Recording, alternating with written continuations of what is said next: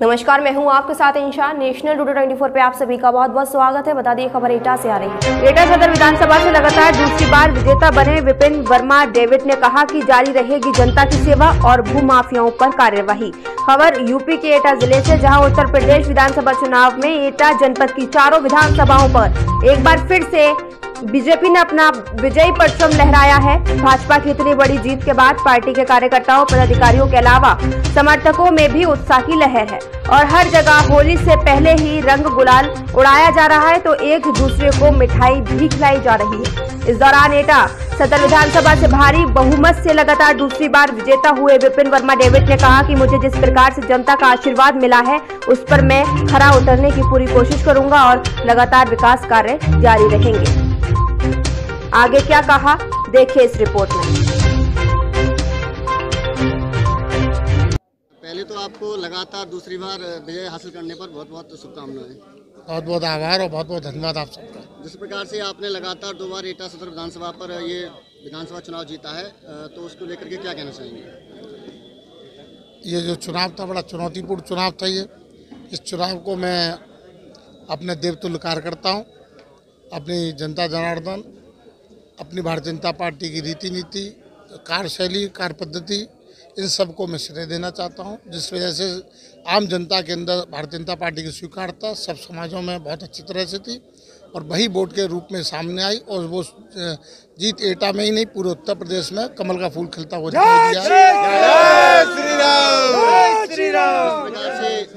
आपने पिछले पाँच साल देखिए सीधी सी बात है।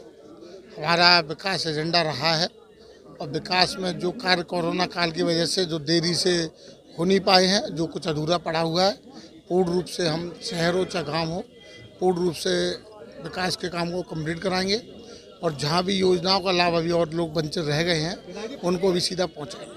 पिछली बार जिस तरह भूमाफियाओं पर कार्रवाई की गई थी और इस बार पुनः सरकार बहुमत से आई है तो इस बार भूमाफियाओं पर किस तरह शिकंजा कसा जाएगा? देखिए हमने तो केवल यही कहा था कि हमारे एजेंडे में था भूमाफियाओं को हमने जो कार्य किया है और वो जारी रहेगा लेकिन जिस तरीके से पब्लिक ने स्वयं प्रेरणा से जेसीबी निकाल करके रैलियों में लाए, कल भी जीतने पर सब जगह जेसीबी निकाल करके लोग लाए हैं।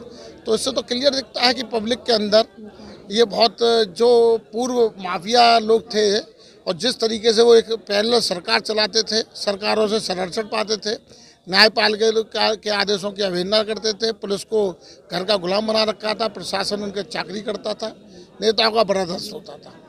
और रूप में हमारी सरकार ने उन लोगों को जिस तरीके से उनको निस्ताबूत किया है, उनकी अवैध धंधों को बंद किया है, उनके कुकर्मों के आधार पर उनको, पुरानी एफ़ के आधार पर उनको सजा दिलाई है, उससे लोगों में बड़ा उत्साह वर्धन हुआ है। मुझे लगता है कि जो पब्लिक चाह रही है अब ये है कि जो बड़े माफिया थे, अभी जो ज़िले पर भी जो माफिया रूप स्थापित लेकर के बैठे हुए हैं, अवैध धंधे करे हुए हैं, अवैध रूप से प्रॉपर्टियों पर कब्जा किए हुए हैं तो मेरा मानना है कि अब हम लोगों का ये प्रण है कि सरकारी संपत्ति जिस रूप में भी जिस लोगों ने कब्जा कर रखी है, वो निकालनी पड़ेगी। और अन्य रूपों में भी किसी के दबंगे के द्वारा किसी की प्रॉपर्टी को कब्जा किया है, वो भी निकालना पड़ेगा।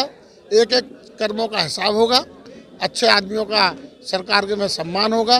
गलत आदमियों के साथ भारतीय जनता पार्टी की सरकार नीति रीति के तहत कार्रवाई करेगी। इस चैनल के माध्यम से आप एटा सदर विधानसभा की जनता को क्या संदेश देना चाहेंगे? उन सभी को मैं श्री चरणों में नमन करता हूँ, उनको बंधन करता हूँ, उनका आभार करता हूँ।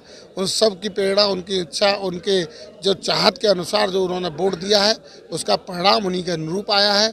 उनका ये सेवक, उनका ये छोटा भाई, उनका ये बड़ा भाई, उनका ये साथी, उनके बीच का आदमी क्योंकि मैं तो ये मानता हूँ कि उनके मुझे उनके घर में और उनको मेरे घर में आने में कोई डर भी नहीं लगता है। तो उनकी इच्छा अनुसार ही मैं जीता हूँ। मैं सेवक के रूप में पहले भी कार्य करता रहा हूँ और मैं उनके कोई शिकायत का मौका नहीं दूँगा और उनकी सेवाओं भरपूर कर